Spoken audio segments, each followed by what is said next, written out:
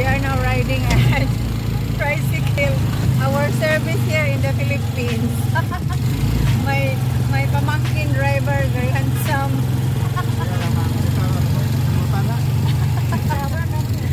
oh my God. Our service. Uh, diba? Ma, di kami guys. Fiesta sa mong kuan. So, we have a bring house. So, daming food. Ay, ito ang service namin guys. Tricycle. Diba? Kaya, ito.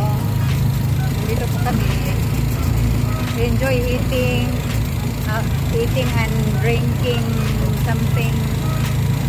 So, yeah, bu busog much.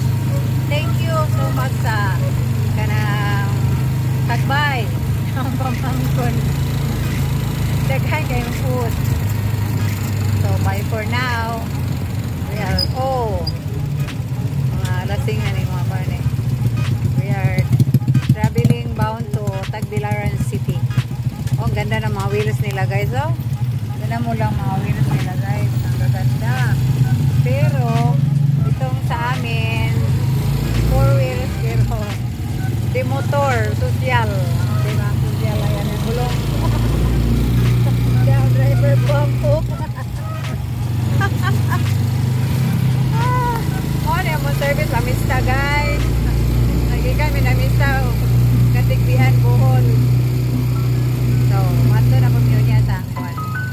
Napamilang appointment. Bye-bye.